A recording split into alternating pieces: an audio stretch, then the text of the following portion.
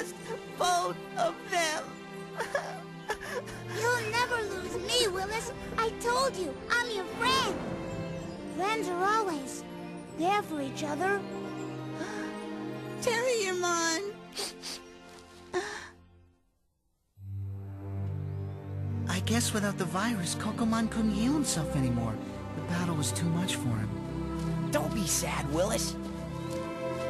One thing you have to learn about Digimon, they never really die. Huh? Hmm. Phew!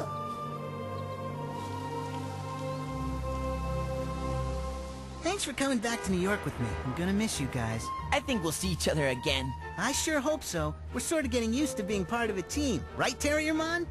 Yeah. One last thing. Uh-huh. hey, what did I tell you about kissing Kari? She's my girl!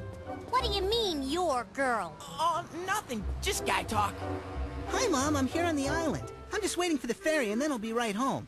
yeah, I had a lot of fun. It was a great trip. Oh, I met a lot of new friends. Well, I did get into a couple of fights, but I'll tell you all about it later. Yeah, I miss you too. Does anyone besides me smell a Digi-Egg?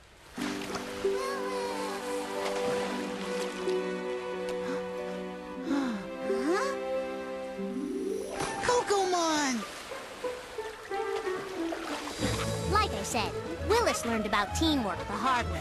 He also found out that Davis was right. Digimon never really die. Their information just gets reconfigured. Only sometimes they come back singing a different tune.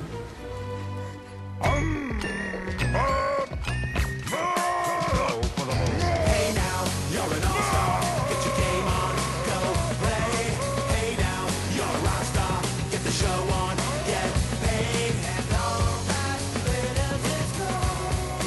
He's tone deaf.